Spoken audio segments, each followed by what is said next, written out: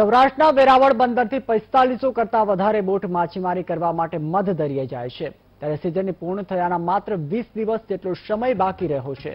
ત્યારે વેરાવળ બંદર પર માછીમારી કરતા બોટોનો જમાવડો જોવા મળી રહ્યો છે. કારણ કે સતત વધી રહેલા ડીઝલના ભાવે માછીમારોની કમર તોડી નાખી છે. તો ઓછામાં પૂરું ખર્ચ નીકળે એટલી પણ માછલીઓ દરિયામાંથી મળતી નથી, જેને કારણે માછીમારોની મુશ્કેલીમાં વધારો થયો છે. હવે જો સરકાર માછીમારોની વાત સાંભળે અને મદદ કરે, તો રાહત મળે તેમ છે.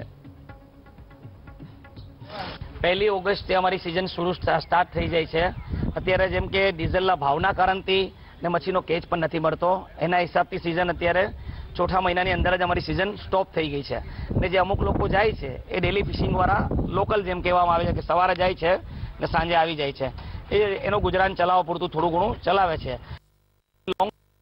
એ લોંગ ટીપ વાળા ચોથા મહિના સુધીની અંદરમાં બધા બંધ થઈ ગયા ચોથા પાંચ ચોથાની અંદર જ. એનું મુખ્ય કારણ પહેલું કારણ એ છે કે ડીઝલના ભાવ એટલા છે. ડીઝલના ભાવના કારણથી એ લોકો ડીઝલના ભાવના કારણથી મચ્છીનો કેચ એટલો નથી મળતો એટલે નથી પોસાતું એટલે એ બંધ કરી દે છે અત્યારે. એટલે આ વર્ષમાં અમારી આખી સિઝન સિત્તેર ટકા બોટો વેરાર બંદરમાં લંગરાયેલી હતી. અને આ વર્ષનું સિઝન અમારી આખું માછીમારોની ફેલ ગઈ છે. એટલે મોટું અમને માછીમારોનું જે નુકસાન થાય છે એ અમારે મોટું ડીઝલ છે. ડીઝલના આજે બંદરમાં એકસો ને પંદર રૂપિયા ભાવ છે. તો માછીમારની સમસ્યા મોટી છે એ ડીઝલનો ભાવ છે.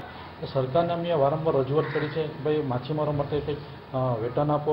એમને જે રાહત પેકેજ હોય એ જાહેર કરે. કે અમે પણ એક દરિયા ખેડું છે. એટલે વર્ષોથી અમે માછીમારોને સરકાર સાથે સંકળાયેલા છીએ. અને અમારું જે મોટું ઉદ્યામર છે, અમારું જે એક્સપોર્ટરો છે, અમારા જે માછીમારો ભાઈઓ છે, એ સરકારને મોટું ઉદ્યમન આપે છે. એટલે વારંવાર સરકારને રજૂઆત કરવા છતાં પણ માછીમાર સમાજ માટે સરકાર ધ્યાન દેતી નથી. રાજકોટમાં દિવસે ને દિવસે